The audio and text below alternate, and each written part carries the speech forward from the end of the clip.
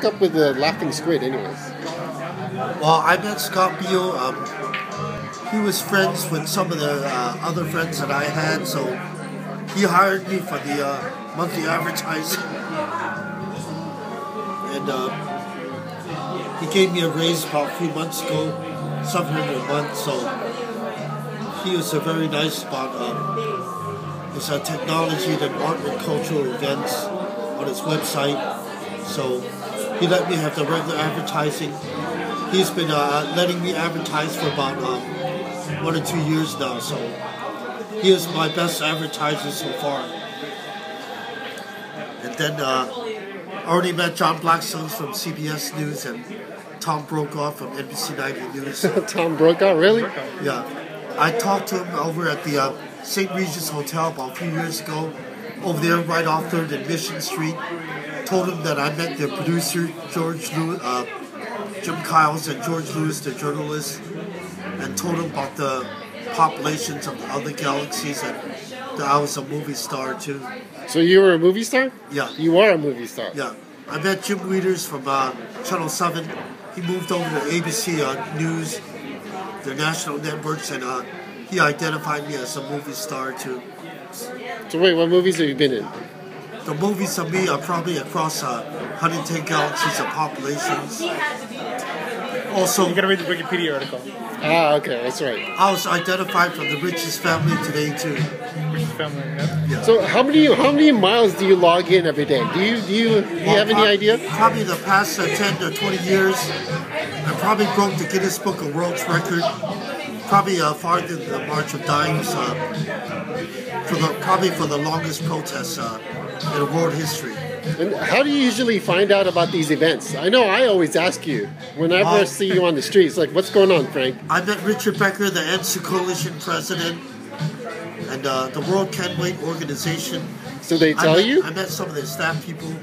Uh, they were able to give me some of their flyers, and uh, I uh, attended some of their rallies and marches and protests, and uh, checked some of their tables and pick up some of their flyers. And uh, Channel 7, 5, and 4, I met just about all the regular journalists in So, so wait, so you get most of your information from word of mouth, or do you have internet access at home, or? Well, I usually, uh, a friend of mine helped me check the uh, internet access, uh, indybay.org, so I can find out some of those events. And uh, Code Pink women protesters uh, met almost all their staff people too.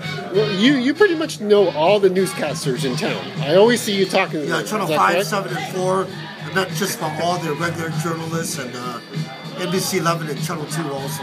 So everybody recognizes you already, Yeah, right? I met America Avenue, some Willie Brown, and uh, met Jerry Brown, Jimmy Carter's, John Edwards, uh, George P. Shultz. Have you ever met Obama yet? I mean, Was he? Didn't In, get a chance to meet Obama, but met Jimmy Carter and uh, met John Edwards, John Kerry, and uh, Kucinich too. oh, what about any of the Republicans? You ever met any Republican Uh, met? Ron Paul and uh, probably Ron not, Paul, really? Yeah, probably not as many as the Republicans, but Because they never they never hit San Francisco. That's why. the Republicans usually are uh, involved with uh, more of the corruption with the CIA.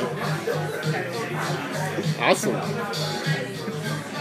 So wait, you didn't tell me how many miles you think you log every day. Well, every on average. the past 10 years, I probably broke the Guinness World's uh, record of uh, walkathons. But give me a number. Give me a number. Let's say how many miles you walked. I don't miles have you any walked. specific exact uh, numbers, but Uh, it doesn't have to be I think I, exact. pro- I It's a probably rough estimate. I think I went farther than the March of Dimes and uh, Dr. King's uh, protesters. How often do you change your you replace your shoes because you walk so much? I probably buy a new pair of shoes about um, probably about twice a year. Twice Once a year? Yeah, six months. You ever get tired of walking? Just walking. Uh, sometimes just uh, stop off afterwards, take a little lunch break or dinner break, and uh, Uh, okay, you take a lunch break, right? What's your favorite restaurant in the city? sometimes go to the McDonald's or uh, the Westfield Mall, the Panda Express restaurant. Okay. So, Carl, Carl's Jr. well, I'm talking about non-chain restaurants. What's your favorite restaurant? And what's your favorite Well, I was going to the Cheesecake Factory and the Sir Francis Drake restaurant, went to the Scala's restaurant and uh, Lefty O'Doul's restaurant. Lefty O'Doul's. For dinner, too. What's your favorite part of town? I like the downtown San Francisco Financial District and uh, Union Square and a Civic Center, too. where the crowds are. Yeah, more crowds. That's where all the crowds are. Yeah. What's the usual reaction of uh, tourists that, that see you on the street? Well, a Do they ever them- talk to you? Yeah, some of the people over the crowd stop by and talk to me, so I tell them that I met uh, some of the journalists from CBS or Channel 7 or Channel 5, and uh, or was published by the San Francisco Chronicle or San Francisco Examiner, and tell them about populations of other galaxies and that I was identified as a movie star also.